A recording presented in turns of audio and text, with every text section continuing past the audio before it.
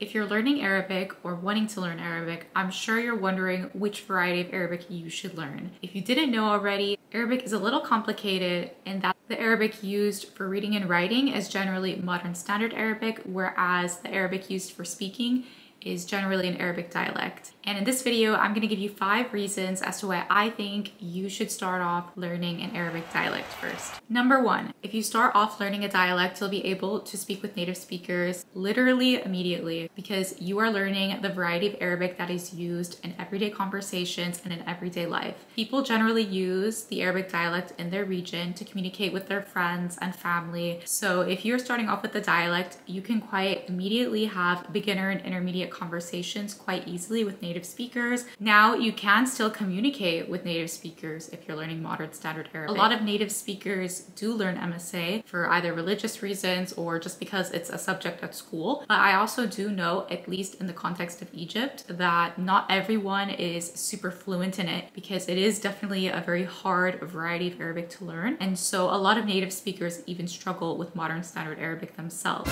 So if you were to speak modern standard Arabic, there is a potential chance that someone might not be able to understand you, or maybe they will understand you, but you might not be able to understand them when they speak back because you know, everyone has varying levels of MSA knowledge.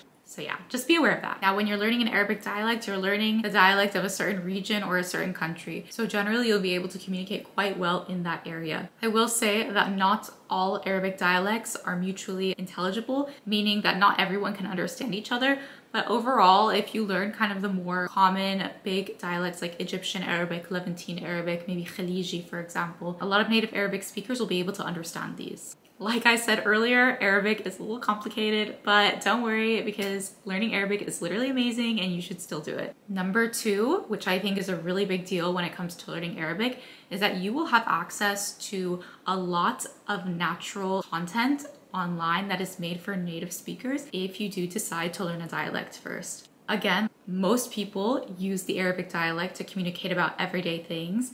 They're texting their friends in the dialect. But not only that, the Arabic dialect is usually also used in music, movies, series, uh, social media, etc., etc. So if you're learning the Arabic dialect, you're gonna have a wealth of content that you can look to that is created for native Arabic speakers. And you'll be able to have access to a lot of that because, you know, you're learning it. Now I will say there definitely are resources for MSA, but again, MSA is more so used for reading and writing. And for speaking, it's used for kind of more like not everyday topics. It's used in the news. So definitely if you watch the news, most of that stuff will most likely be in MSA. So you do have a lot of content available for MSA as well. But in terms of like movies and music and following influencers and keeping up with memes on social media, there's a very high chance that most of that is going to be done in the dialect. Number three is that grammatically, I think that learning a dialect might be easier than learning MSA, so it will not be as daunting as a task. I've taken maybe five lessons for MSA. I honestly, I haven't learned much MSA yet, but even in those first five lessons, there was so many rules and everything. I was like, whoa. So I do believe it might kind of be a nicer transition into learning Arabic.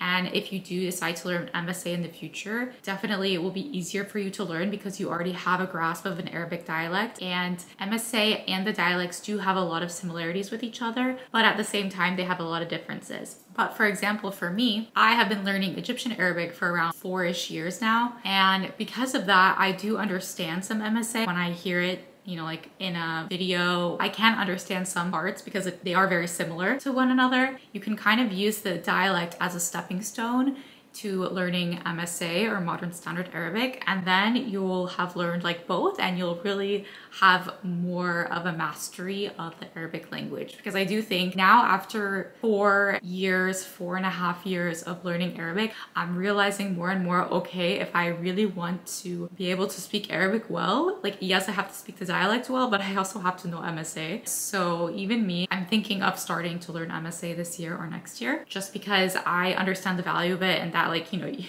If you want to learn Arabic, you should also learn MSA. However, I really do think learning a dialect can be advantageous depending on your reasoning. But for me, I wanted to learn Arabic to communicate. So in that sense, learning a dialect was the best option. And also personally, I have a very big interest in Egypt and Egyptian culture. So it made sense for me to learn the Egyptian dialect. But also at the same time, it's very useful because Cairo is a huge powerhouse in the MENA region when it comes to movies, music. A lot of things are coming out of Egypt and a lot of other Arabic speakers are consuming this content. So therefore, a lot of people understand the Egyptian dialect, even if they are not Egyptian themselves or they've never stepped foot in Egypt. They will most likely have an understanding of the Egyptian dialect because of how widespread and how popular it is. So on to our fourth reason, it will make traveling to an Arabic speaking country easier if you were learning the dialect of that country. So again, using Egypt as an example, if you're going to travel to Egypt or if you're going to move to Egypt, for example, it is very important to know the Egyptian dialect because that's what you're gonna need to use in Ubers and taxis, at the grocery store, to communicate with anyone and everyone you're gonna have to be using the Egyptian dialect. Probably yes if you know MSA, depending on who you're talking to, yeah, probably. Of course, there are people who speak other languages, like not just Arabic in these countries. There's a lot of people that will speak English or maybe they'll speak uh, different languages. But again, it's always nice to know a few words or know some of the language of like a country that you're going to travel to. It's just nice. So last year I studied abroad in Egypt to finish my master's degree and I was there for almost a year and I do think my experience was like elevated in a positive way because I knew Arabic. Not fluently, I make a lot of mistakes, but because I knew the Egyptian dialect, I was able to communicate a lot. It helped, you know, with making friends and just getting around. I think the experience wasn't as overwhelming for me because I had already spent like a few years prior learning the dialect. So I already knew that I would be able to speak to most people when I was there and they would most likely be able to understand me and kaza kaza. And the fifth and last reason is that you might be able to have a better connection to the culture of the area that you're learning more quickly and again being able to connect with people more easily. I've heard stories or read stories online of people who have studied MSA for like a few years and then they travel to an Arabic speaking country and they try to speak MSA on the street and like with people and literally people would I think, laugh in their face or would just be confused because they wouldn't be able to understand or maybe they did understand. But something I learned is that a lot of cartoons apparently are in MSA in modern standard Arabic. So people I think have told me that if someone were to speak MSA to them, they're like speaking to them as if they were a cartoon character because cartoons were made in MSA versus dialect. Like not all of them obviously. I know Bakar is like a pretty popular cartoon and I'm pretty sure that was in the Egyptian dialect. But just like know that. And I think something that's really important to note is that language and culture are really intertwined with one another. So if you know the language of the area that you're going to travel to, or move to or whatever you want. It's just going to unlock a deeper level of understanding of life there and of the culture because again, everything is intertwined. And of course, you know, there are certain phrases that people will say and like they're culturally related and they have cultural nuances to them, just like in any language or in any dialect. So you can do that with MSA. Like MSA is kind of the standardized Arabic and most people learn modern standard Arabic, but again, not everyone will be like fluent and a lot of native speakers do struggle struggle with it, but again, it is like a good kind of breadth of knowledge Arabic to have if you need to communicate. But of course, if you're more interested in like Arabic literature, for example, then yeah, go with MSA. But if you're more interested to speak and communicate with people, go with dialect first, is what I personally would recommend. I mean, I think learning a language, it's really worthwhile and it's really rewarding when you're able to talk to someone and they can understand, like they can actually understand what you're saying. It's like, wow, like you can understand me? What is going on?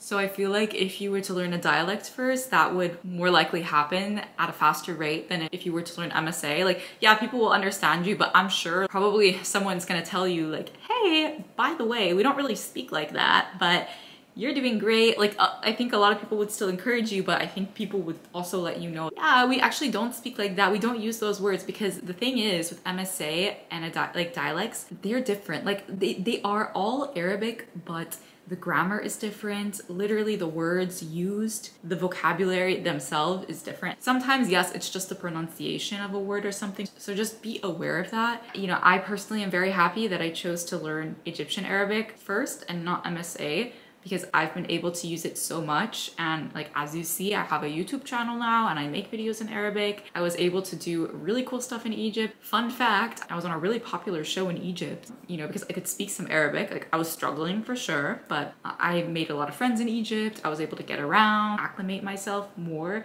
to life there because I knew the language. So in summary, do your research when you're learning Arabic because I know Arabic is a bit tougher to navigate because it's a bit more complicated because again, you have this diglossia and that there are different forms of Arabic used for different things. And if this is all kind of confusing to you and you're like, what? There's a different variety for this and for that. You should watch this video about which Arabic variety you should learn and learn more about it. Bye!